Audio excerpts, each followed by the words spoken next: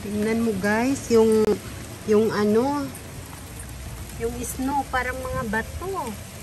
Ang lalaki. Yan guys, oh. Oh. Grabe. Yan.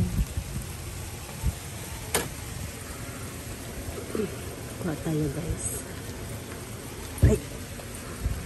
Oh, tingnan mo. Hmm. Hmm. Ang lalaki. Parang bato. Parang bato yung snow.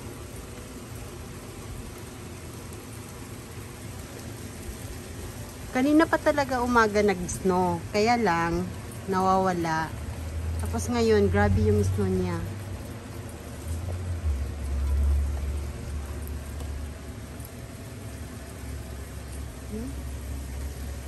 Parang mga asin lang.